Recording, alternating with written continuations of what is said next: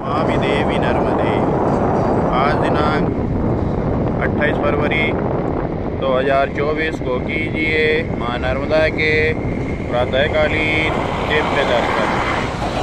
नर्मदे, हर हर हर।